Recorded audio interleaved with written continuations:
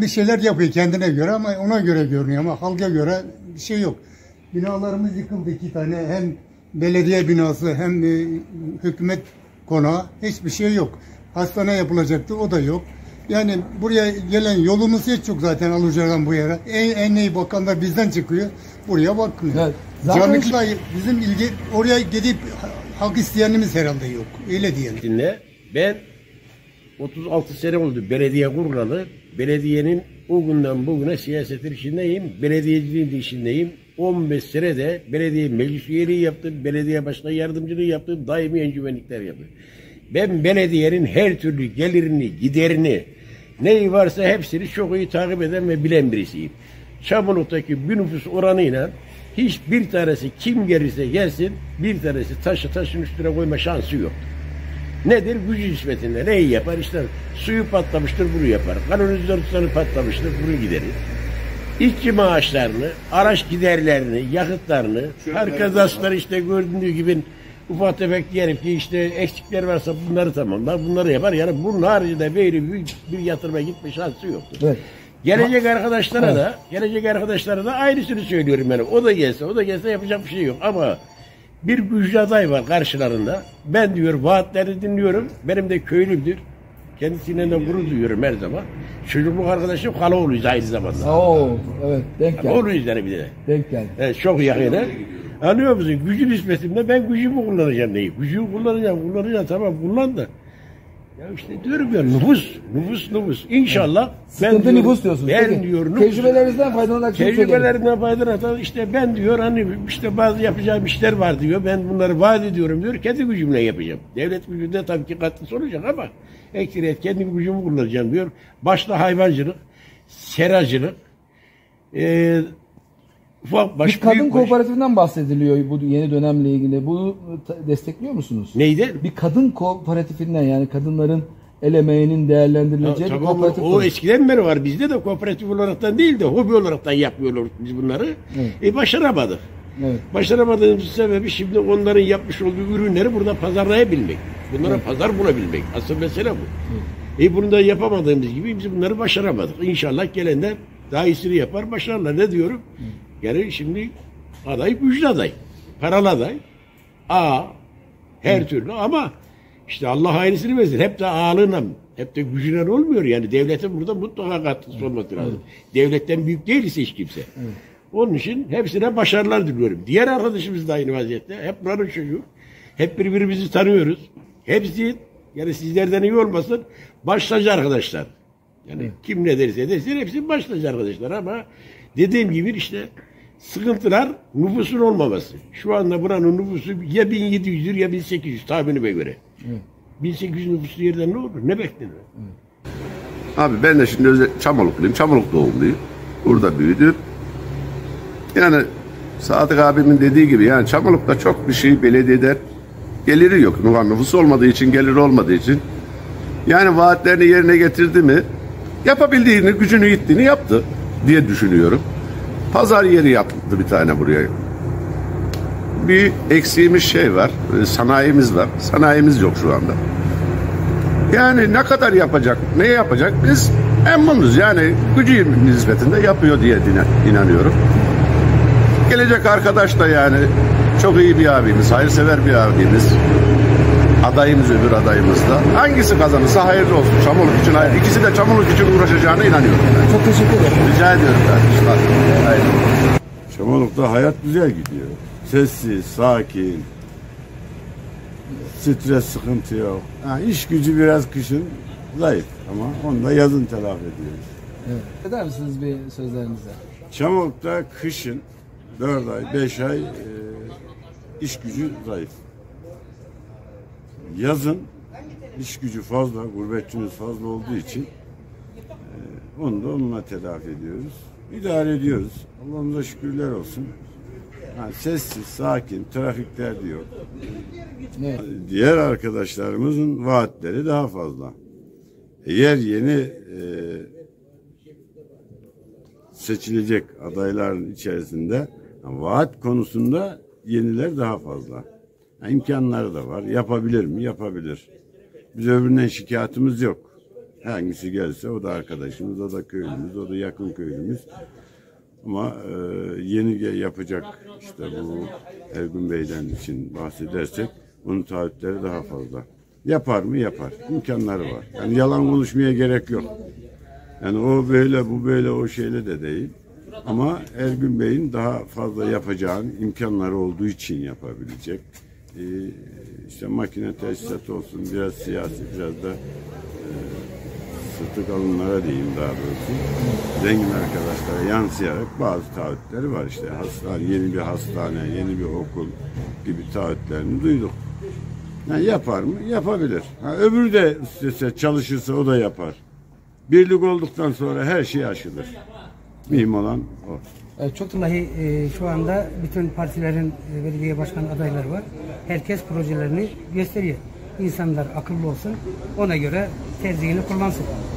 anladım. Yani Yani bir esnaf olarak e, mevcut belediye başkanının yaptıklarını değerlendirmek isterseniz sağ olsun o da yaptı yani bayağı şeyler. Yani inkar etmemek lazım. E, gelecek adamı da muhakkak korumamız lazım. Kim olursa tabii ki. Bize düşen kim gelirse ona destek verip Çamoluk'u biraz daha geliştirmek. Evet. Peki e, ne olmasını istersiniz Çamoluk'ta? Bizim burada en eksiğimiz nüfusun azlığı.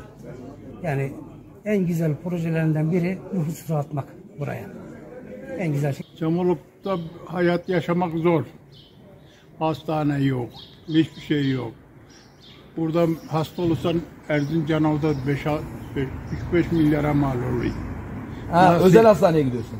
Yok ki hastane yok. Burada bir sağlık ocağı var, başka bir şey yok. Hastane, doğalgaz, bak emekliyiz. Odun getiremiyoruz, yaşlıyız.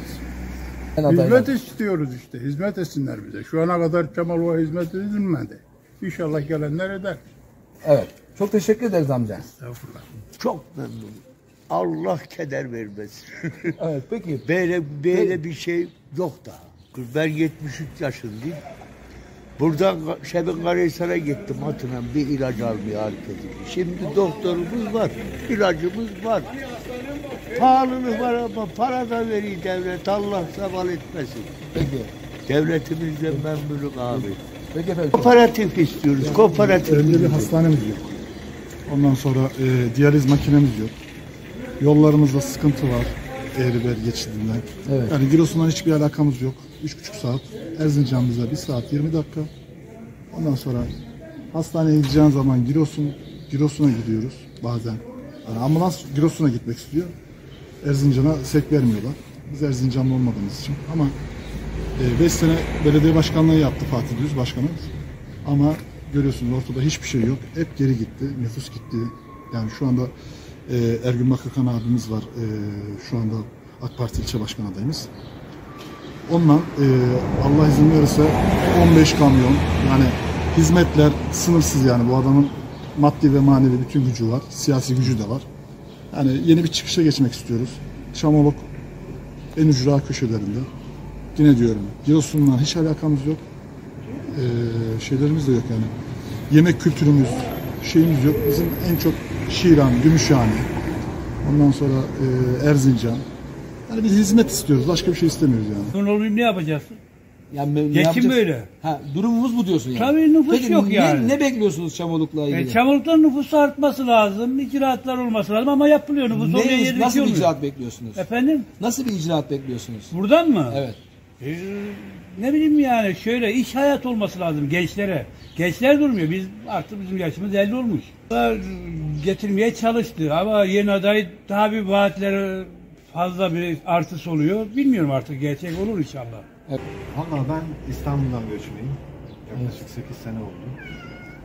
Ee, Memnunum tabii ki. Köy hayatını sevdiğim için memnunum. Ama tabii ki burada yaşayan gençlere daha çok sormak lazım. Gençler burada değil, büyük şehirlerde. Ben büyük şehirden geldim buraya. Büyük şehirlerde hayat bitti artık ama gençler burada olması için, gençlerin burada yaşayabilmesi için iş sahası lazım.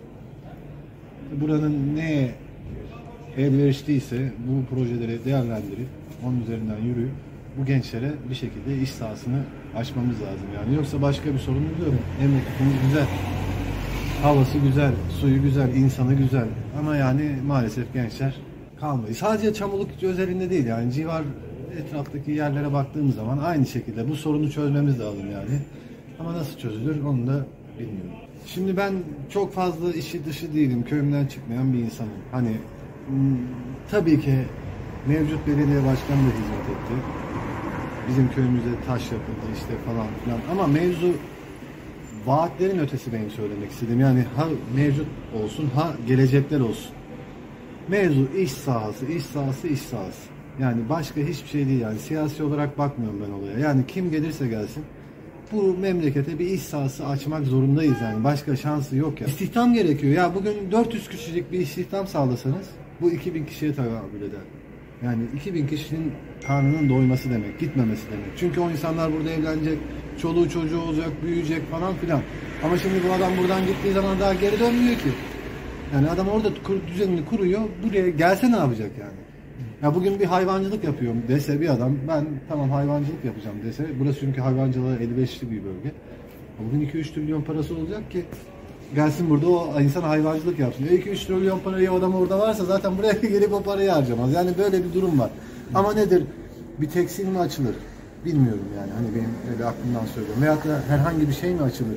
Yani veyahut da belediyenin bünyesinde bir şeyler açılabilir. Yani 3 kişiye iş sağlasan 15 kişi. Yani ben bu işe böyle bakıyorum. Yani inşallah kim gelirse gelsin bu işleri ön planına çıkartırsa çok sevinirim. Yani benim söyleyeceğim mevcut başkana da diğer gelecek olanlara da söyleyeceğim istihdam başka hiçbir şey değil yani. İnşallah sağlarlar. Çamoluk'taki yaşamımız çok zor koşullarda yaşıyoruz. Yolumuz yok, ulaşım yok doğru dürüst. İle çok uzak. Yani bu gibi çok sıkıntılarımız var Çamoluk'ta. Ee, hastaneye gideceğiz. Bir araba buradan Giresun'a 3 milyon liraya gidiyor. Erzincan'a 3 milyon liraya gidiyor. Yani bu şekilde biz buralarda çok mağdurluk çekiyoruz. Yani burada bir çözüm bulmaları lazım yani. Sağlık olmadan hiçbir şey olmuyor biliyorsun yani insanın sağlığı olacak, şey olacak. Ha şimdi hastalarım var, doktora götüremiyorum. Maliyet yükseliyor. Yani arabam yok, şeyim yok. Burada bir yere dolmuş çalışmıyor. Yani biz burada tamamen mağduruz yani böyle bir ilçe çok şey ya. E, sağlık ondan sonra ulaş, ulaşım olursa işte bir şekilde dolmuş olsa gideceğiz bir yerlere. Ulaşım olmadığı için hiç burada yani en büyük sorun ulaşım, sonra sağlık. İşte nüfus yok daha da çok burada. Yatırım yok. Devlet doğru dürüst bir yatırım yapmıyor. Şey var. Yani tür şeyler var yani sıkıntı var. Bak yani şu anda doğru dürüst yerine getirmediği çok şeyler yapamadı. Çok yani o kadar artık içinde alternatif sunamadı yani. Yine bir AK Parti'nin belediye başkanı iş adamımız bilmiyorum. O da bakalım vaat şeyler vaat ediyor. İnşallah iyi olacağını tahmin ediyoruz yani. Evet. Bizim söyleyeceğimiz de aynısı. Değişik bir farklı bir şey yok yani. İmkanları çerçevesinde eksi yaptı yapabildiği kadar. Ama yapamadıkları dersen vardır yani yok değil. Gelen vaat ediyor ama yapmaya gelince yerinde kalmıyor. Bir şey yapmıyor. Yani şimdi yeni gelen daha inançlı gösteriyor kendini daha güçlü. İş adamı olduğu için. Daha iş adamı. İşte bu emeklilerin maaşını söylemek istiyorum. ben. Onu 10, 10 lira maaş alıyor, 10 bin lira maaş alıyor mesela. Misal ben veya bu vatandaş veya diğer 10 bin lira maaş alıyor, 8 bin 10 bin lira kira veriyor. Nasıl geçinecek? Evet. Enflasyonu diyor düşüreceğim diyor Sayın Cumhurbaşkanımız. Nasıl düşürecek? Düşüyor mu? Mazotun litresi 50 lira olmuş. O hala diyor ki şey enflasyonu düşüyor. Yani emekliler geçinemiyor. Pazara, Evet. pazara gidiyorsun, 1 milyar lira harca, bir tane poşet dolduruyorsun. Başka bir şey yok yani. En büyük sorun 40 lira, 40 liradan aşağı 50 liradan aşağı meyvenin kilosu yok ya. Böyle bir şey var mı? Şunu yaptım, bunu yaptım. Böyle yapmayla millet geçinemiyor ki. Bir şey yaramıyor ki. Ha tamam çok güzel şeyler yaptı. Ben onları hiç hayatta inkar edemem. Yani bu zamana kadar yapamayanları yaptı. Bunlara hiçbir sözüm yok. Ama bu 3 seneden beri, koronavirüsten beri memleket alt üst yani. Ya zama dur diyebiliyor, ne bir şey yapıyor. Hiç ahıp gidiyor. bu. Geçinemiyorum. Ha. Ya sıkıntı sıkıntı. Geçinemiyorum derken sıkıntı yani. Sana bana, bana göre değil. de- Parayı tavana çıkarttılar, tabana indiremiyorlar. 85 milyonun 5 milyonu yaşıyor, 80 milyonu sürünüyor. Yani bu para tavana çıktıysa tabana indiremezsin. 20 senedir yaptığın yanlış politikalar yüzünden bu şekilde şey yapıyor. Yani zenginler eğer bu ülke bir seferberlik olduğu zaman herkes gidiyorsa şu anda zenginden varlık vergisi al. Yani bu, bu kadar basit yani. Bastır. Böyle kimse bir de bu parayı nasıl kazandın? Bilmem Nasıl kazandın şey hesabını sorsunlar yani. E, Başkasına zorlayarak yapmıyorsun da em- emekliye gelince mi zorluyorsun? Devletin hazinesinde yok mu? Orada da Nereden ya? sigorta. Nereden a, bulduğu yasasını çıkarsın bu memlekette. Öyle şey. O, öyle havadan para kazanıp da emek tüketmeden fırıldakla bu memlekette para kazananlar biz çok iyi biliyoruz. Biz 40 senedir 50 senedir bu memleketin ne olduğunu iyi, iyi takip ediyoruz. İyi bir siyasetçi olarak da takip ediyorum. Her türlü şeyini de takip ediyorum. Çıkan enflasyonu durdurabilirler. Bak bu çok önemli diyorum bak. Bunu ya varlık vergisi ya ayrı bu enflasyonu düşürtmesi için ya, ya varlık vergisi desin ya şey. Olsa şimdi kaç para burada? 300'den fazla. 300 kaç? 300, 350, 420 şey, lira. 420 lira. Şu an Çamurluk gibi yerde. yani bura kırsal kesim hayvancılık. Çok teşekkür ederim. Adım Dursun Duyan, 22 07 1990 Çamoluk doğumluyum. Ee, ilk orta öğrenimimi burada tamamladım. Daha sonra eğitim hayatıma devam etmek için sırasıyla Kocaeli Üniversitesi, Dış Ticaret, Eskişehir Anadolu Üniversitesi İktisat Fakültesi, İstanbul Arel Üniversitesi Uluslararası İlişkiler ana bilim dalında yüksek lisans yaptık. Yüksek lisansımı tamamladıktan sonra akademik çalışmalarıma ara verip 27. dönemde de malumunuz Bitlis milletvekili adayıydım Milliyetçi Hareket Partisi'nin. Memleketime geldim. 2019'da yaptığımız yerel seçimlerde İl Genel Meclis üyesi adayı olup e, rekor bir oyla yüzde 63, 62, 61.95, 62'ye yakın bir oyla seçildik. Ee, devamında 5 yıl boyunca millete, memlekete hizmet etmek adına memleketin her derdini dile getirdim. Vatandaşlarımızın bireysel her sorununu, Giresun nazarında değil de Türkiye'nin her yerindeki her sorunlarına çözüm ürettim. Önümüzdeki 5 yılda çözüm üretmeye talibim. Bağımsız İl, İl Genel Meclis üyesi adayı olarak milletin, memleketin huzurundayım. Şimdi ben e, tanıyanlar bilir. e, Parti programı doğrultusunda siyaset yapacak bir yapıya sahip değilim. Ben halk siyaseti yaptım. Halk siyaseti yapmaya da devam edeceğim. Söylediğim sözden kime ne gelire bakmam, memleketime ne getiririmin mücadelesini veririm. Buna parti içi disiplinsizlik denilebilir ama ben halkın derdini dillendirmedikten sonra el kaldıranlar, kabul edenler, etmeyenler de el kaldırıp indirdikten sonra bu siyaseti hiç yapmam daha iyi. İşte memleketin bu halde kalmasının sebebi de bu el kaldırıp indirenler, memleketin bir sorun ihtiyacı var mı denildiğinde e, şahsi sorunlarına çözüm bulup memleketin sorunlarını göz ardı eden arkadaşların getirmiş olduğu bir vaziyette. Çünkü halkın dertlerini ve sorunlarını dile getirir, şiddetle savunurlarsa biliyorlar ki bir daha partiler onları o sıraya yazmaz. E o sıraya yazmayınca da halkta karşılık bulamayacakları malumdur. Zaten parti üzerinden siyaset yürüttükleri için yani kendi kişiliğiyle, özgüveniyle, yapmış olduğu hizmetlerle siyaset yürüten pek arkadaşımız yok. Bu olmadığı için mecbur.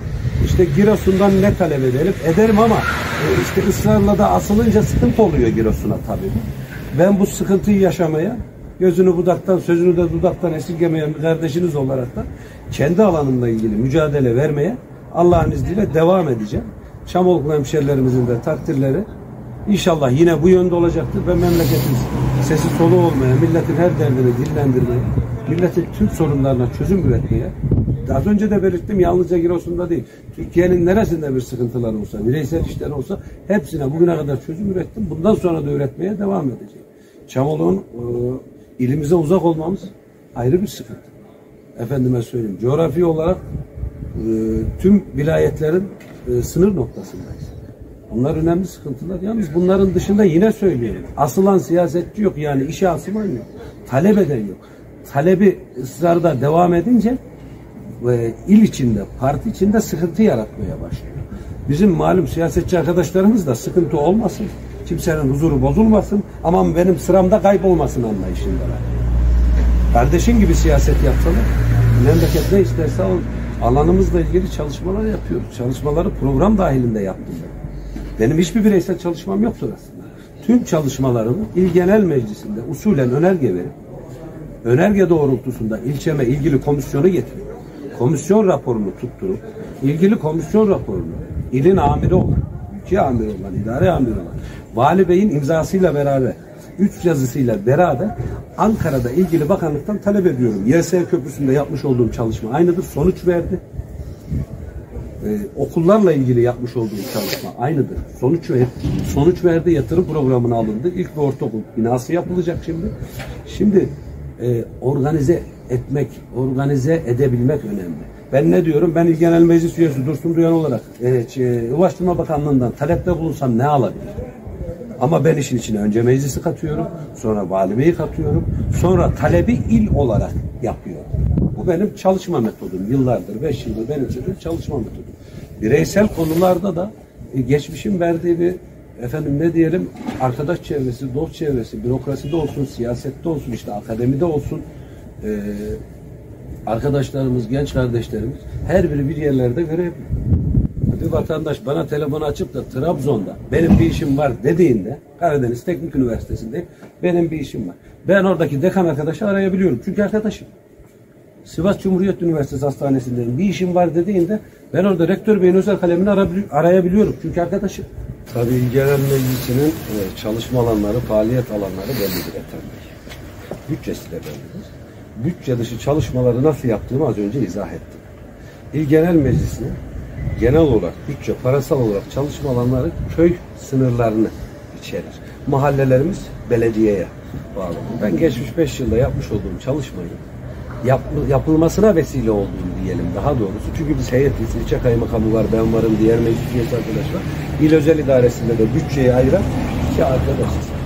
Ben ekstradan bütçe ürettim demiyorum. Bütçenin adaletli dağılmasına vesile oldum. 27 köy, güzel bir kitapçık yaptım. 5 yıl boyunca hangi köye ne hizmet ettiğimi arz ettim vatandaşlarıma. Efendim şimdi biz orada olmazsak, Dursun Duyan gibi birisi o heyetlerde, o komisyonda olmazsa ne olur? Şu olur, kimin torpili varsa onun köyüne yazılır işte 5 milyon bütçenin biri oraya gider, dördünü 27 köye pay edersin. Şimdi e, şair diyor ya Allah'ın 10 pulunu bekleye dursun 10 kul, bir kişiye tam 9, 9 kişiye bu bir kul. Bu taksimi e, e, kurt yapmaz kuzulara şah olsa diyor. Şimdi efendim bizden önceki durum buydu. Benim bütçe konusunda, yatırım konusunda ilçenin adaletli, 27 köyün adaletli bütçeden gelir elde etmesini, gelir sağlamasına vesile oldu. Çünkü ilçemizin kaymakamı var, bir heyet oluşturulmuş, iki muhtarımız var. Köy dediğimiz ödenek 5 milyon lira gelmiş. 5 yıl boyunca ilçenin kaymakamlarına da söyledim, heyet üyesi arkadaşlara da söyledim. 27 köye tam eşit olamayabilir. Çünkü birinin nüfusu fazladır veya birinin yolu iyidir. Yalnız 27 köye her yıl bir şey gidecek şartıyla oturdum ben o masaya. Onun dışındaki hiçbir programı kabul etmedim. İmzalamayacağımı söyledim o heyette. 5 yıl boyunca da e, ülkeye, bekleyen ülkeye kaymakamlarımızdan Allah razı olsun adalet çerçevesinde bir bütçe Ben orada olmayayım. Benden önce nasıl yapıyorlarsa bir köye 2 milyon, 27 köye 3 milyon. Bir köye 3 milyon, 27 köye 1 milyon. Ne adalet kalır, ne e, hak kalır, ne hukuk kalır. Benim varlığım budur. Bireysel hizmetler konusunda memleketimin vatandaşlarının her derdini çözdüm. Bir Allah'ın kulu diyemez, bir kul diyemez. Şunu dedim de çözmedi. Giresun'da demiyorum. Türkiye'nin her noktasında çözümü var. Efendim iki yıldır da bağımsızım. Bağımsızken de yapıyorum. İşi tabela yapmıyor kıymetli hemşehrilerim. İşi adam yapıyor. İşi tabela yapmıyor, işi adam yapıyor. Sabaha kadar hangi partinin neyi olursan ol, iş bilmiyorsan beceremez. İş bilirlik, yani kendini geliştirmiş olman lazım, know-how'un geniş olması lazım, çevrenin geniş olması lazım. Bireysel konularda bu hizmetleri yaptım. Ee, maddi konularda eşit bir dağılım sağlanmasına vesile oldum. Bunların dışında da az önce belirttiğim gibi okul konusunda yani genel ilgilendiren konularda da meclisi devreye sokarak, meclisle birlikte talepte bulunarak sonuç aldım. Önümüzdeki beş yılda millete, memlekete hizmet etmeye, Allah'ın rızasını gözeterek adaletli bir şekilde hizmet etmeye devam inşallah diyorum. Tüm hemşerilerimden destek bekliyorum. Ee, bu kardeşlerini yalnız bırakmasınlar. Ben memleketimin her derdine ortak olmaya devam edeceğim. Geldiniz. İsmim Şeref. 2015 yılında İstanbul'a gurbetten e, bir heyecanla memleketime geldim. Yani buradaki sıkıntılardan bahsedersek yani hangi birinden bahsedelim? Bir sürü sıkıntı var diye düşünüyorum. E, en kötüsü ilimize bir uzak ve e, bir faydasını görmediğimiz bir ilimiz var. Buraya buradaki insanların e, ölmeden yani hani Giresun'u görmeden ölen insanlarımız da var olduğunu biliyoruz. Burada birçok sıkıntı var. Üretim alanı olsun. Yani bir hastanemiz olsun. Hangi birini sayalım böyle söyleyeyim yani. Nüfus açısından nüfus olmayan bir e, gurbette yaşayan bir e, şeyimiz var nüfusumuz. Maalesef ki esnafın da burada gerçekten ciddi anlamda sıkıntıları var gurbetçi olduğu için. Hani yazın gelir bir iki ay e, ticari e, alışverişini yaparlar ama bu yeterli değil. Ya burada insanlar genelde e, iş o, e, sahası olmadığı için e, bir- birçoğu e, kahvelerde ya da evinde bir sosyal aktivite bir şeyimiz yok tabii ki. Fatih Bey e, buranın esnafı aynı zamanda ya burada yetişmiş doğmuş buranın e, sıkıntılarını bilen bir arkadaşımız. E, yeterli mi? Tabii ki yeterli olduğunu kendimce düşünmüyorum. E, daha iyisini yapabilir miydi? Yapabilirdi. Buraya geldiğimde tabii ki bir anla geldim. Yalan yok. Ee, ama gerçekten o heyecanımı yanıldığımı anladım. Ee, benim gibi birçok insan gelmek istiyor. Doğru. Ee, bakıyoruz ki bir iş sahası yok. Hani bir kalacak yer yok. Yani tavsiye e, isterim yani tabii ki her insan kendi memleketinin e, kalkınmasını, şeyin turizme açık olmasını ya da e, birçoğunun şeyini ister yani. Tabii istediklerini bulamazlar. Buradaki e, bulamadıkları için de çevre ilçelere gidiyor insanlarımız. Onun haricinde Çamoluklu Giresun'a gidebilmesi için öncelikle maddiyatının olması gerekiyor. E, buradan e, Aluca'mıza en yakın ilçemiz Aluca olduğu için Oraya da servisimiz yok maalesef. Tabii ki buradan oraya bir ücret ödemesi gerekiyor. Bin liraya yakın bir ücreti var. Oradan servise yetişebilirse binecek, yetişemezse 4-5 bin lira verip tekrar Giresun'a gitmek zorunda. Eğer işini görmek istiyorsa tabii. Yaklaşık bir esnaf olarak tabii ki e, her zaman nüfus çok önemli. E, ben kışın burada e, ilçenin tek pastanesi olmasına rağmen e, bir tatlı reyonuma bakabilirsiniz. Tatlı veya diğer şeylerden e, getirmiyorum. E, talep olmadığı için mecburen gitmiyor yani. Bunlar Tabii nüfusun olmadığı, talep olmadığından dolayı boş. Günümüz teknolojisinde tabii ki elimizde e, herkesin telefonu var. E, bir araştırma yapıyoruz. E, bakıyoruz ki hani e, ilçemiz bayağı bir gelişmişlikte çok geride en sonlarda hatta bu da gerçekten bir esnaf olarak da vatandaş olarak da üzücü. Üzülüyoruz yani. Çocuklarımızın e, herhangi bir sosyal alanımız mevcut değil. E, bir parkımızın böyle eğlenebilecekleri bir sahamız yok maalesef. E, eğitim açı- açısından da sıkıntıların olduğunu ben düşünüyorum. E, maalesef ki okullarımız yani bütün e, sınıfların, bütün e, mevcut şeylerin diyeyim ben ona. e, bir binada bir çatı altında okuduklarını bu da sıkıntı yarattığını düşünüyorum. Abla bak ben 10 sene oldu buraya geleli. 10 sene. Şurada desinler ki bir tane çivi çaktı 10 senede şey yapsınlar. Burada hayvancılık yok. Buyur. Bütün arazi bomboş. Bir motor çağırın benim tavuklarım var iyi kötü ama az ama çok. Bir yemin torbası oldu 10 milyon. Vallahi 15 tane tavuğa bakamıyorum. Bir çuval o yemi sorabilirsin orada kaç para? Sor. Bir gübre kaç para? Sorabilirsin. Artı bir tane kimse tarla ekmiyor. Bu bitti. Ekecek gücüm. Git motorcu saatine kaç para? Buyur orada da motorcu var. Bak orada orada. Ha? E, kimse ekmiyor biçmiyor. Her Emekli maaşı kira oldu kaç para? Bak ben 10 milyar maaş alıyorum. Ben emekliyim. Belediye Büyükşehir'de. Şirketten yani. E, bakıyorsun aldığım 10 milyon kira 15-20 milyon. Nasıl geçineceğim ben? Ben 64 yaşındayım. Ha, abim benim biliyor. Ben arkadaşlarım da biliyor. Ben de yalanla hurdayla işim olmaz. Kralına da çıkarım ben. Ben mutlu olacağım hemşerim. Çalışmadıktan sonra açsın. Çalışmadığın vakit açsın. Vallahi abla ne bileyim hiç yani çivi çakılmıyor. Ben gayet etmiyorum. Ne bu arkadaşımın ne öbürü ne bu. Çivi çakılmıyor. Tek kelime burada. İş yeri yok. Buyur git kahveye akşama kadar adam kahvede okey oynuyor. İş ol- olmadı mı ne yapacak? İş yeri olsa adam gider çalışır iyi kötü bir ekmeğine bakar. O yok. Vallahi ben emekliyim hala 64 yaşında herkesi de tanır.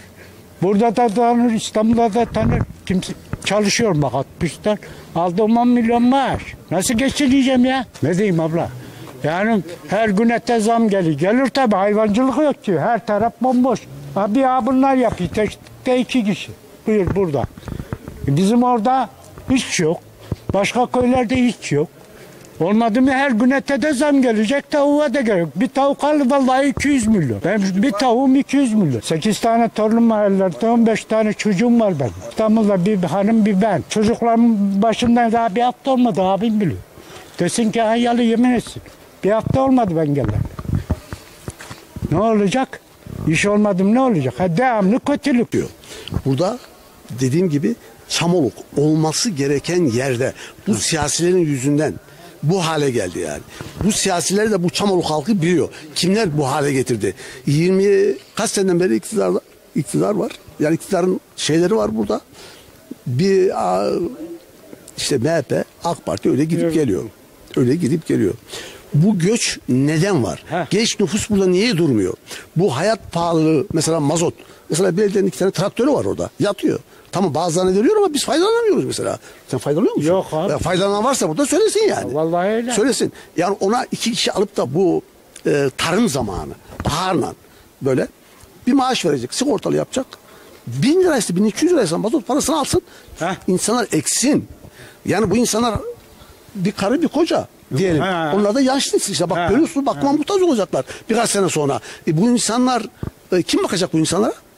E, çocukları gelmiyor. Çünkü durmuyor. Duracakları bir yer yok yani. Buraya geldiği zaman değil mi? Bazılarımız ben de genç olsam biraz kaybolmak istiyorum. Nereye gideyim? Sosyal tesis yok. Herhangi bir şey yok. Onun için işte Çamoluk'un bu göçüne çare bulmaları lazım bizim yukarıdaki siyasetçilerimiz. Yani bu Çamoluk'taki siyasetçiler bu işi beceremiyor. Beceremez yani. Ne dedim? Çamoluk Belediyesi var. 87'de kuruldu. Hiçbir şey yok. Sıfır. Sıfır. Tamam? Maaş alıyorlar. Ben orada oturuyorum ben o maaşı da almam. Niye? Bir şey yapamıyorum ki. Niye yapamıyorlar? Belediye niye borçlu bu hale geldi? Belediyenin bir binası yok ya. Oturacak bir binası yok. Öğrencilerin yerinde duruyor yani. İşte sorun göç sorunu. Bu sorunu önlemek için önlemek için artık hükümetimiz mi yanlış yapıyor buraya? Ee, burayı idare edenler mi yapıyor? Buradaki siyasetçiler mi yapıyor? Ee, Çamoluk'ta sıkıntı var. Tamam ilimize uzak coğrafi bakımdan. Hayır uzak. Kışın daha sorun. Şu anda ne yaptı? Her tarafın yolu yapıldı. Her tarafın yolu yapıldı. Bu 50 seneden beri muhtarım burada. Bu yol aynı yol değil mi? 50 seneden beri bu yol aynı yol. 50 seneden beri. Ya buraya niye bir çözüm bulamıyorlar? Yani girişi var. Sen ne yapacaksın? Buraya girdin mi şimdi? Aynı yerden çıkacaksın. Ya bir daha buradan aşağı bir Şemin Kalesi'ne bağlanın. Yani insanlar daha pratik gelsin gitsin. ile daha çabuk gitsin gelsin. Sorunlarını daha iyi anlatsın. Ama işte bu sorunlar olduğu için biz sürekli göç veririz. Burada da işte insanı bulamazlar yarın bir gün. E, biz de askerlik yapıyoruz. Bizim anamız babamız bizi büyüttü. Nerede büyüttü? Tarlalarda yatarak büyüdük biz. Dağda taşta yani. O zaman nüfus vardı. O zaman hayat daha zevkliydi. Yani ne bileyim ben büyüklerimizle biz saygı duyardık. Büyüklerimiz de bize kapı açardık. Nereye gidiyorsun diye korku vardı bizde. Şu anda öyle bir şey yok.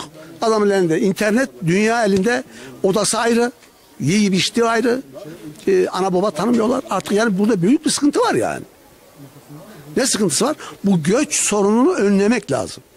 Çocuklar da onun için buraya gelmiyor işte. Şimdi bak benim çocuklarım burada olsa ne istemem Allah şükür yatmaya yerim var evim var.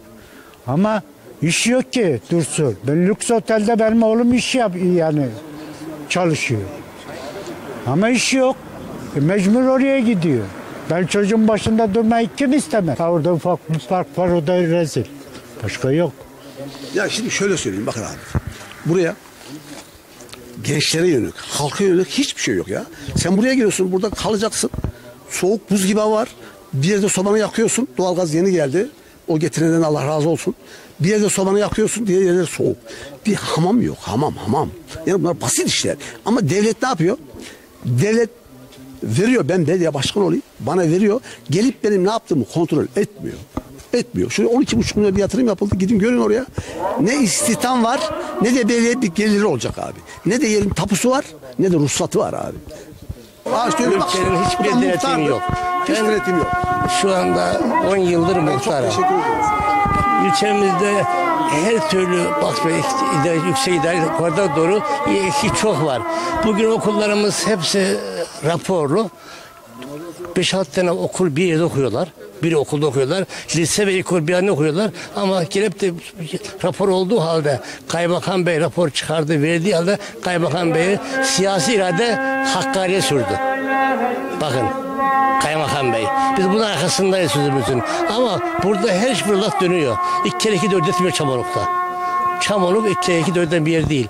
Çamoluk'ta her şey var. Hiç denetim yok. Nasıl diyeyim onu isim vermek istemiyorum ama yani düşünün Kaymakam Bey gidip rapor alıyor.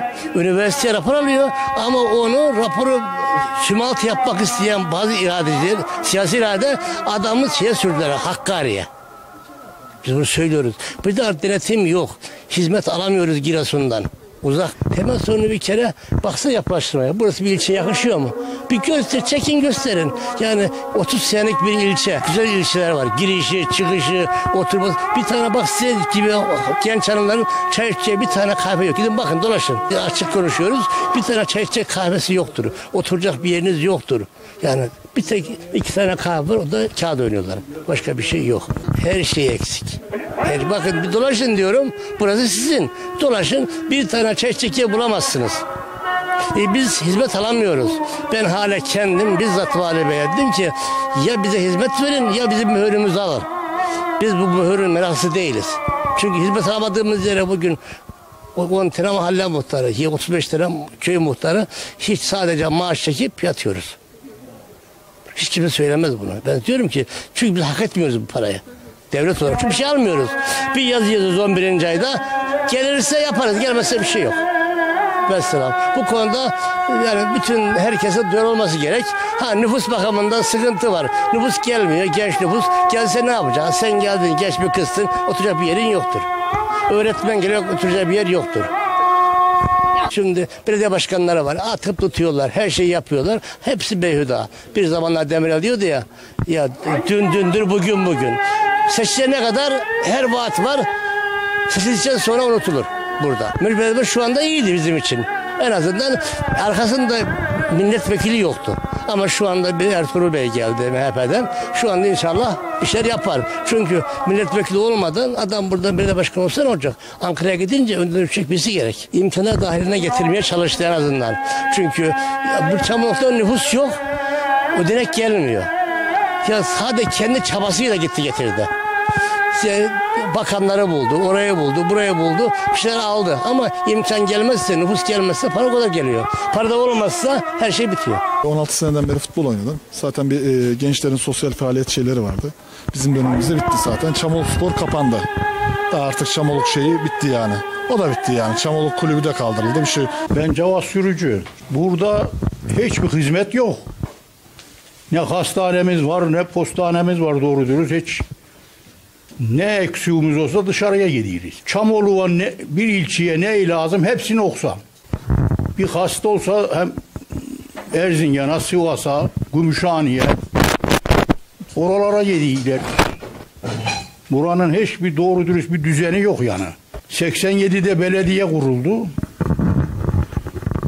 Doğru dürüst bir belediye başkanı gelmedi. Hep hırsız. Hırsızın biri gitti, biri geldi. Biri gitti, biri geldi. Yani hizmet diye bir şey yok. Elimden geleni yaparım. Ne yapacağım? Hiçbir şeyi yok, hiçbir şeyi. Ya ne eksiği varsa bir ilçenin hepsi eksik. Ya Çamoluğun ihtiyaçları neyse hepsinin olması lazım. Ama ilgilenen yapan, yapan yok. Hep hep cebirlerine çalışıyor. Hiç umudum da yok buraya böyle bir şey olacağını. Ben doğdum ama ve Çamoluk'ta yaşıyorum. 70 yaşında. Buradan Alucara'ya gideceksin. Alucara'da şeye bineceksin dolmuşa. Dönemiyorsun. Kalacaksın ertesi günü saat 4'ü bekleyeceksin ki geri gelesin. Vallahi buradan oraya giden yok ki. Orada oradan hiç ilgimiz yok. Orada sade bir devlet dairelerinde bir işin olacak da diyecek.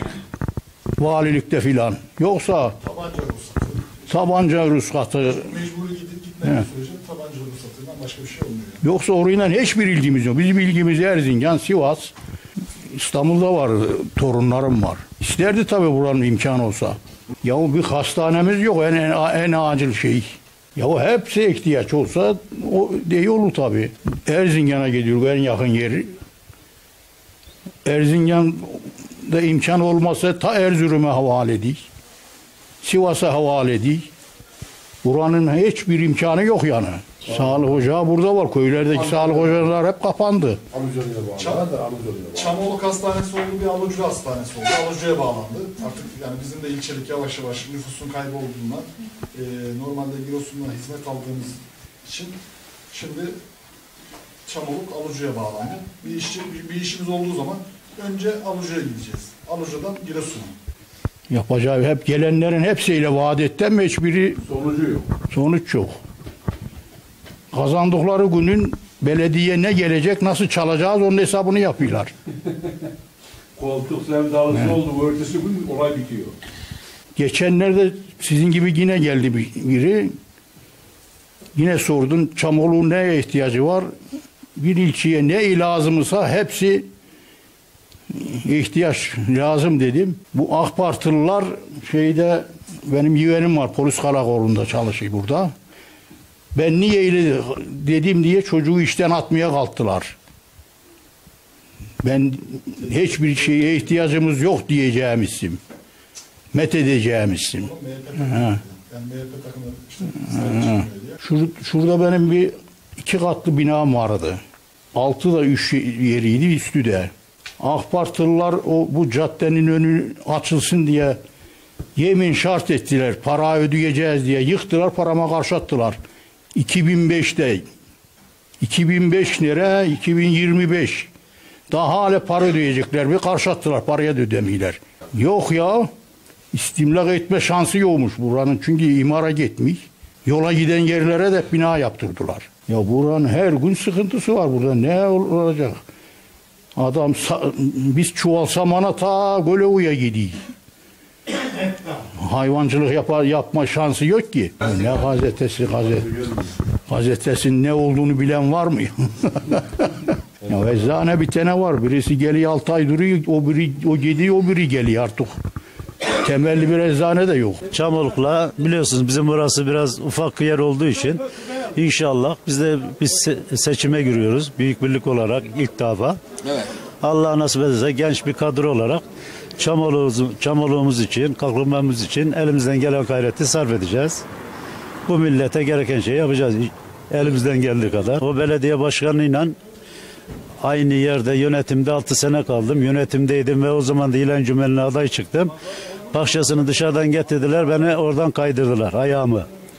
Dışarıdan geldi adam. Ben 6 sene yönetimde olduğum halde beni dışarıladılar oradan. Ve ne yaptılar bana o 5 sene döneminde gelip kapımızdaki taşları bile döşemediler. Ayrımcılık yaptılar. Bak belediye başkanını seçen adam biziz. Gelip kapımda ayrımcılık yaptılar. Köyümüzde ayrımcılık yaptılar. Şimdi sen bilemiyorum ne diyeyim ben bunlara. Ama bizim bizim belediye anlaşımızda seçilirsek Allah nasip ederse böyle bir anlayış yok. Herkesin hizmetkar olacağız Allah nasip ederse. Herkesin kapısını çalacağız. Ne gerekiyorsa elimizden geldiği şeyi yapacağız. İlenci ben olarak da gerekirse Cumhurbaşkanı'nın kapısını kıracağım. Gerekirse Çamoluk için Cumhurbaşkanı'nın kapısını kıracağım yani. Hastanemiz yok, yollarımız bozuk. E buraya otelimiz yok, hamam yok. Yani yapılacak çok şey. Hastaneye baksana ya hastaneye girilecek gibi değil ya. E bu seçilen kişiler ne ne yapıyor? Neye geliyorlar buraya? Biz de, yüksek okul mezunuyuz diyorlar. Seçiyoruz. Geliyorlar. Adamlar ara Antalya'da bulursun. Yahut şeyde bulursun. Marmaris'te bulursun. Yok öyle bilgilen. Benim, bize mesela ilkokul mezunu olarak diyorlar. Biz ilkokul mezunuyuz.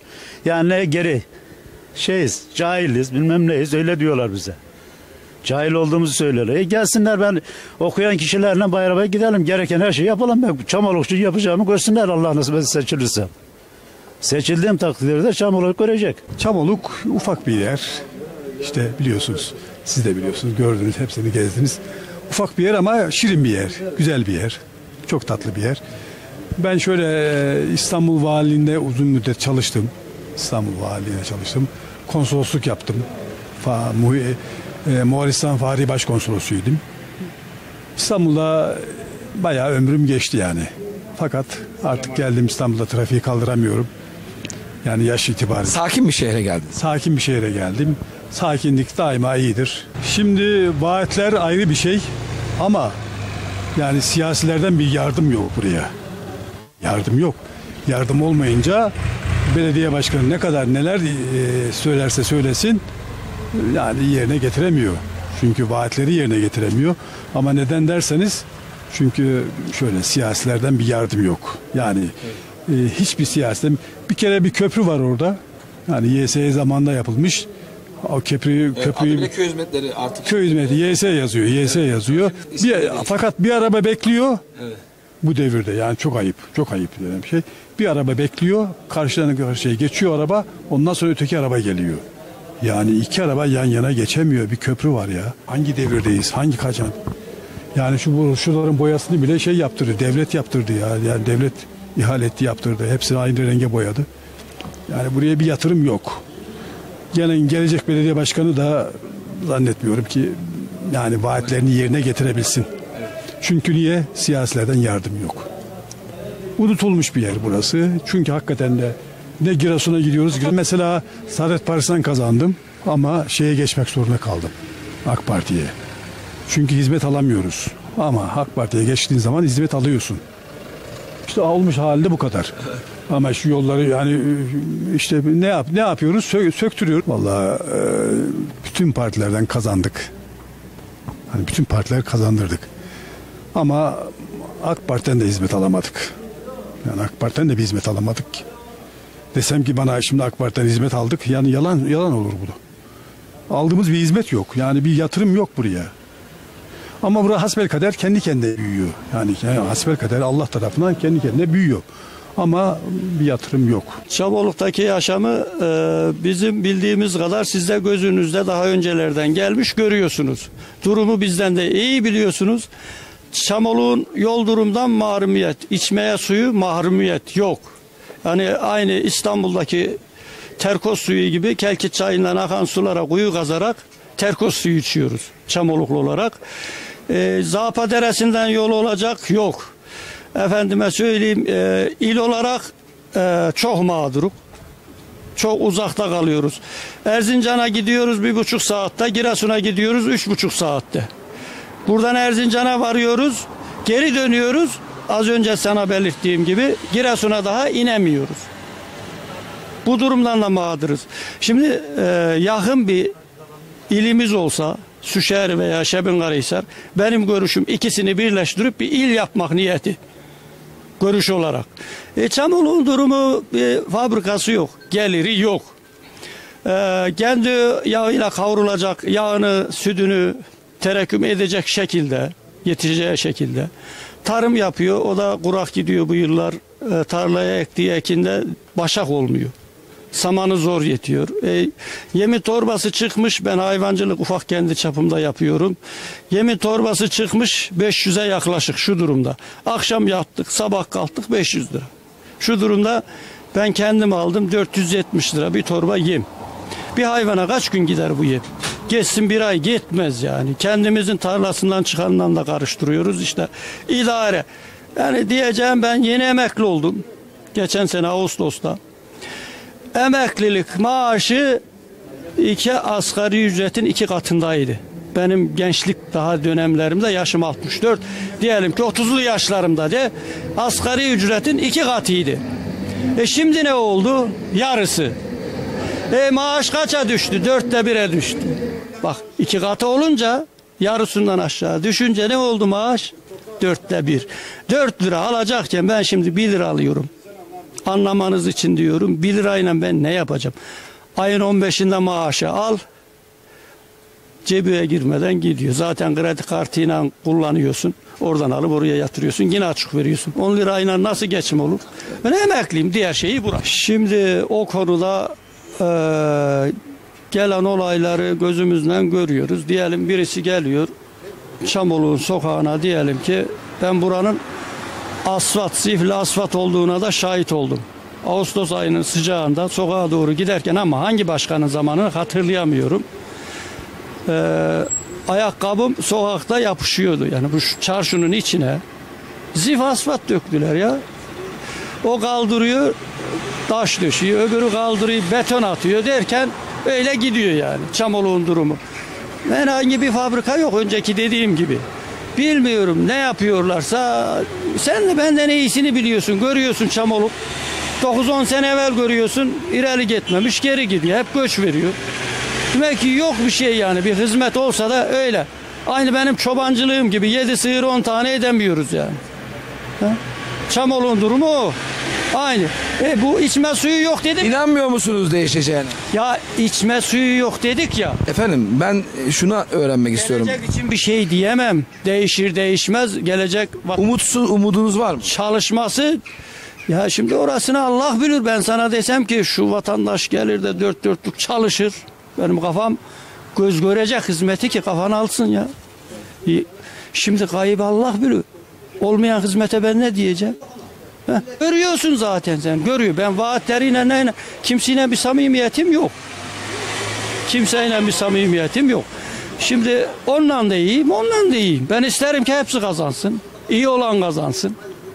Ben 68 yaşındayım. Çamolukluyum. Yakın köy yani içinden değilim yakın Taşdemir köyündenim. Eski dernek başkanlarındanım.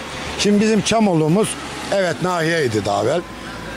Şu anki kazada olmayan şeyler vardı. Mesela kooperatifimiz vardı.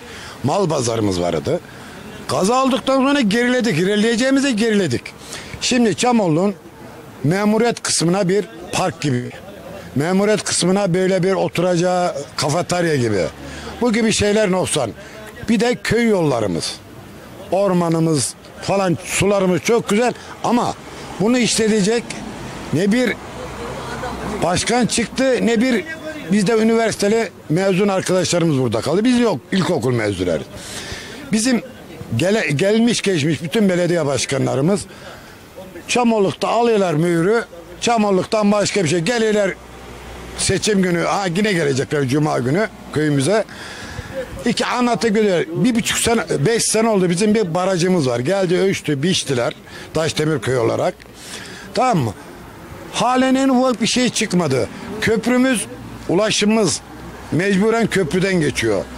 Ee, ben 2003'te dernek başkanıyken valiye gittim. Çökmüştü. Bir metre kadar bir kalıp yaptılar. Yine çökük yani korkunç Allah korusun yani. Geçiş yerimiz de yok. Irmağımız da büyük. İlkbaharından acayip bir coşuyor. Birinci, birinci şeyimiz köprü. Efendim baraj bir de Çamollu'nun Daşdemir arasında kısa mesafe yolumuz var. Eskiden geldiğimiz yol ana yolumuz oydu. Şimdi bu yandan geliş 7 kilometre şimdiki yolda istediğimiz yol 15 kilometre. Tamam? İki katı ve olumlu yol yani o bu yoldan daha olumlu. Bağlantı yolu. Ama bir türlü bunları başaramıyor. Bizim istediğimiz başkanımızdan encümen ağzında siz Giresun'da madem e, gazetecisiniz o merkezi bunları dile getirin. 50 sene oldu benim köyümün camisi yapılı. Allah razı olsun bundan evvelki muhtarımızda bir yer aldı. Yer aldı. E, taşımalıya geçti okulumuz berbat. Okulumuz berbat. Bunları yani dile getirin. Devletin desteğiyle. Biz de yine emekliyiz biz. Elimizden gelen de maddi desteği yapacağız yani. Yeter ki bizim önümüze birisi çıksın yani. Biz daha evvel hep ısmarlama belediye başkanları geldi. Kurbetten geldi bilmem nereden geldi. Bu, bu arkadaşımız da bizim arkadaşımız. Ee, buranın derdini bilir diye bunu getirdik. Çamollu'nun içinde büyümüş, Çamoluk'ta esnaflık yapıyor. Çamollu'nun bizden daha iyi bildiğin için bunu her türlü biz desteğimizi verdik. E, zaten belediyede değil de encümende bizim şeyimiz, oyumuz geçerli. Bu da yani temiz e, şey e, belediye binasının kaymakamlığı yıktı. Oraya geçti. Bu köprü kaç sene oldu? Bir de gelsinler bizim Taşdemir'de geçit köprümüz yani bizim talebemizin geçtiği köprüyü bir görsün. Madem bu masrafları yapıyoruz avre yapın. Bak Kalede Köprü istiyoruz. Şimdi oradan geçiyoruz Saral'da Pazartepe'ye gitmeden. Ee, biraz ilerisinde şey yaptı, YS yaptı. İki araba bir yerine geçmiyor. Birisi karşıda duracak. O geçecek ondan sonra o geçecek. Ve tahmin ediyorum yani 15 sene mi 20 sene mi oldu yapılalı en az 30 kaza oldu. En az 3-5 kişi de rahmetli oldu yani. Bu konuyu birçok gündeme getirdiler. Çok teşekkür ederiz efendim size. Teşekkür ederim. Size işte derdimiz bu. Daha çok var da yani. Allah Çamoluk bizim gördüğünüz gibi abi. Gelişmemiş küçücük şirin bir memleketimiz. E bizim de dışarıdan buraya gelme sebebimiz Sıla-i Rahim, bir ziyaret. E şimdi bir de tabii seçim üstü e, gelip insanların da arkadaşların, eşin, dostun nabzını yoklamak. E bakıyoruz. İşte yani Çamoluk'ta diyecek şey bu kadar. Tabii eksikler çok büyük. Hastanemiz hala yok. Bugün her köyde bir hastamız var özellikle diyaliz hastaları yok. Yani bir yere ulaşamıyorlar. Diyaliz merkezi yok anladım. Yok. Çamoluk'ta yok. Buraya en yakın Alıcıra'ya veya da Erzincan'a gidiyorlar. Ee, birisi de benim dayımdı. Hani biz o süreci çok iyi yaşadık biliyoruz. Ya inşallah bundan sonra bekliyoruz. Fatih Başkanımız işte bakalım bu seneki olacak en büyük projelerinden birisi hastane. Ee, İnşallah e, daha da güzel olacak. Öncelikle benim tabii ki adayım Fatih Düz. Bence e, vermiş olduğu vaatlerinde tabii ki yüzde yüz hepsi yapar demiyorum. Bugün bizim devletimizin başındakilerin de hepsinin yüzde yüz yaptığına inanmıyorum. Ama Fatih Başkan bir yerden başladı ve yapmaya da devam ediyor. İnşallah bundan sonraki süreçte de e, tekrar e, başkan olursa geri kalan kısmının yapacağının bir sözü var. Ama 2019 seçimlerinde vermiş olduğu sözlerin hepsi yapıldı mı? Tabii ki yapılmadı ama yapılıyor. Hani bir başlama var. Onu da gözle görüyoruz yani bu Çamoluğumuzda e, işte köylerin yollarında olsun e, bilmiyorum çıktınız mı E, hani bayağı bir gelişme var. Onları görüyoruz. Bundan sonra da olacağına inanıyorum yani yapılacaktır. Ben tabii diğer belediye başkan adaylarımız var. Hem de AK Parti'den tabii gönlümüz bizim AK Parti'den yana ama belediye başkanlığı saçı yani biraz daha seçici olmak, çalışmasını bilmek tanımıyoruz. İnşallah hani eğer diğer başkanlar da kazanırsa yine onların yanındayız biz.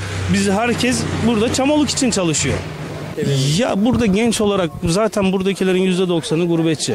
Hani hepsi e, gençlerin hepsi şu anda gurbette yani hani yaşam tarzları orada. Burada e, gelenlerin hepsi Sıla-i Rahim için geliyor. Buranın en büyük eksikliği hastane ve e, bir spor kompleksi yok. Ya bence Çamoluk için uygun bir şey olması için bir kere altyapıyı çok iyi yapmaları lazım. Yani senin e, hastanen olacak. Bu bir. ikincisi yani üniversiteli sen buraya genç çekeceksen, öğrenci çekeceksen özellikle dışarıdan insan çekmek istiyorsan yani gözde görülür bir şeyin olması lazım. O da en büyük projesi üniversitenin olması lazım. Öğrenci olması lazım burada.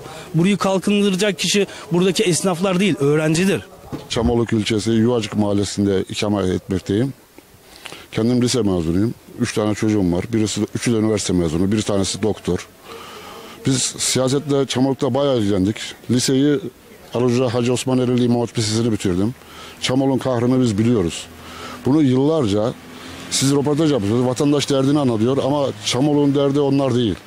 Çamoluk'ta kim vaat ettiyse hiç kimse yerini, sözünü yerine getirmiyor. Çamoluk tekelleşmiş. Bizim bir ilçe yönetimimiz var İstanbul'da. Buradan oradan buraya yönetiyorlar. Bir seçimden seçime ondan sonra Çamoluk'ta hiçbir şey yok. Ben bunları dedim siyaset üzerine toplanalım.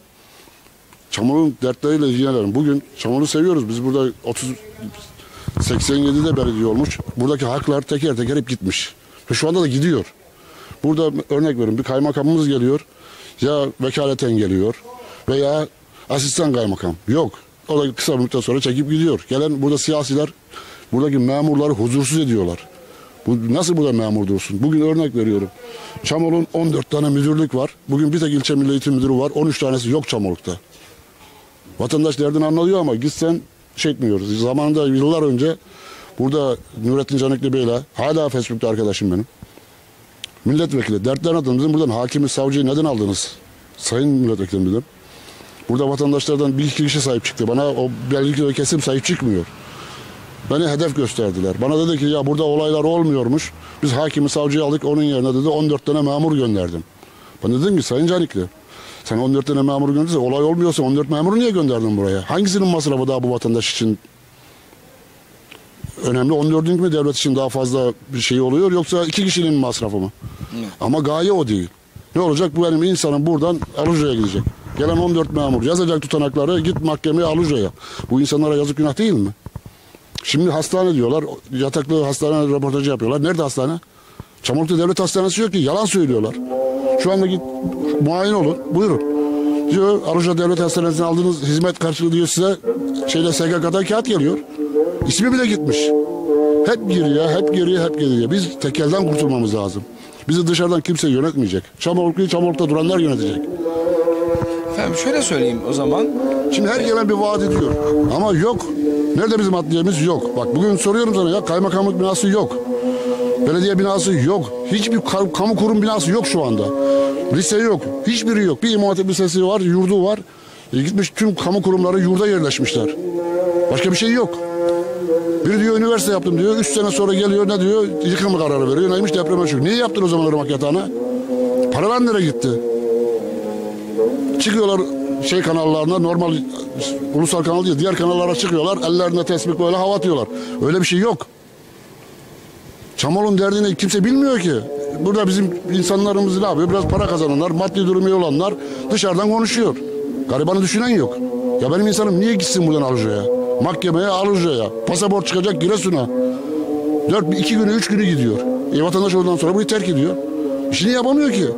Hastaneye gidecek, hastanede uzman doktor yok. Bir ilçede uzman doktor olmaz mı ya? Ben kamu, bak tüm ilçeleri geziyorum.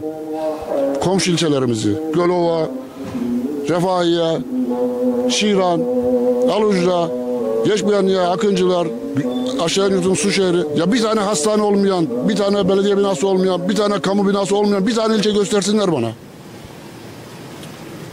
Göstersinler bana ya. Söylesin desin ki şunu yaptım bana. Desin göstersin ya. Buradayız işte hep beraber. E benim Fatih benim arkadaşım bile ya. Yabancı da değil. Akrabayız da.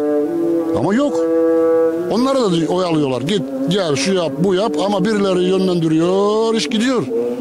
Burada günden güne geri gidiyor. Ondan sonra vatandaş... Evet, kısa vadede bir çözüm bulmak isteseniz. Hiç görmüyorum. Bu şekilde devam ederse bu Çamoluk'a hiçbir şey olmaz. Kim ne vaat ediyorsa vaat etsin. İstersen buraya git şey yap. Spor salonu yap. Şey yap. Şimdi adam gitmedikten sonra boş binayı yapsan ne olacak? Önce vatandaşı tutacağım burada. İş imkanını sağlayacaksın, olanağını sağlayacak diye vatandaş burada dursun. Burada duran insan ne yapacak? Maddi durumu değilse spor salonuna da gider, yüzme havuzuna da gider. Ama vatandaş bulmadıktan sonra, vatandaş olmadıktan sonra boş salon yapsan ne olur, yapmasan ne olur? Ya yaptı. Gençlik Spor Bakanlığı oraya şey yaptı. Kim gidiyor? Efendim çok teşekkür ederiz. Sağ olun. Bizim Çamoluk biz üst akıl kurulması lazım. Gerekirse Cumhurbaşkanı'na kadar çıkmaları lazım. Çünkü bura oyalanıyor. Ve tüm ellerindeki haklar da tek tek gidiyor. Yok. Ben geleceğim şunu yapacağım, bunu yapacağım, şu yapacağım diyenler var ya yüzde, hiç, yüzde seksen inanmıyorum. Biz 87'de belediye olduk. Kiralık yer tuttular orada kurbanı ben kestim. Lise mezunuyum ben. Liseden yeni mezun olmuştum. İddia ediyorum o günler bugünlerden iyiydi. Yıl 87 şimdi 2024'teyiz. Ve o zamandan beri kazanılan haklar da bir bir ellerinden alındı. Bugün Alucra ne yapıyor? Çamurlu'nun vatandaşı mahkeme oluyor Alucra'ya gidiyor. Niye gitsin? Yazık günah değil mi bu insanlara ya? Yani günü gidiyor. Maddi durumu da gidiyor. Ya bura bir ilçe ya. İlçenin adliyesi olmaz mı? Hakimi savcısı olmaz mı? Bir olay oluyor. Savcı bekliyorsun. Ta Alucra'dan gelecek. Niye burada olsun? Ben bir de örnek veriyorum ya komşu ilçelerimize diyorum. Bir tane olmayan varsa göstersinler ya. Ya nüfus diyorlar. E nüfus da küçük olanlar da. Gölova bizden küçük. Küçük olanlar da var. Ama her şeyi var altyapısı şunu bunu. Burada niye yok? Ve burası iktidar partisine oldum olası yüzde doksanın yakın oy veriyor. Demek ki bizim siyasiler diyor ki biz bu vatandaşlara biz kapıdan da olsak bacadan girecek bize oy verecekler. Öyle düşünüyorlar demek ki.